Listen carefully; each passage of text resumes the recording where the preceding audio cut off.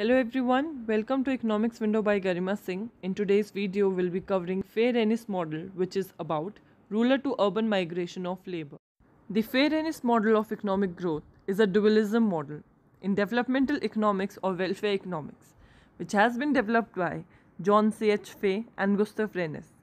It can be understood as an extension of Lewis model that I have covered in my previous video and also it is known as the surplus labor model there is existence of dual sector which means there is one sector which is the rural subsistence sector or the agriculture sector and the other one is the urban industrial sector right?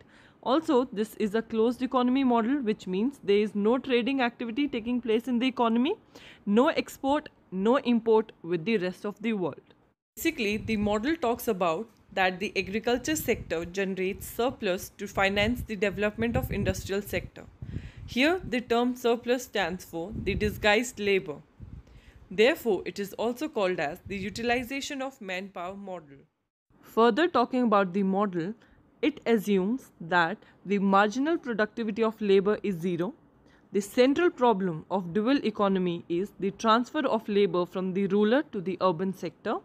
The social problem of an economy is overpopulation and it is the industrial sector that will absorb maximum number of agriculture labor which means the disguisedly unemployed people. Further talking about the model, it explains how increased productivity of agriculture sector would help in promoting the industrial sector. It also tells us how the underdeveloped economies can move from the stage of stagnation to the self-sustained economy.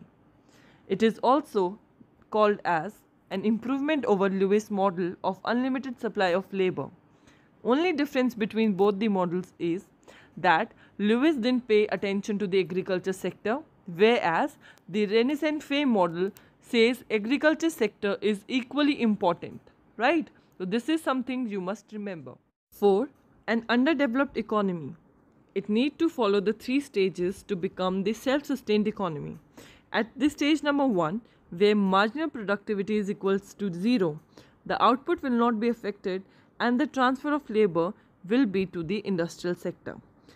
In the second stage, where AP will be greater than the MP, here it means the labor is being transferred. And lastly, when MP will be greater than AP, which means the productivity is greater than the wages, no transfer will take place. This is how the underdeveloped economy will transfer itself to the self-sustained economy as per the model.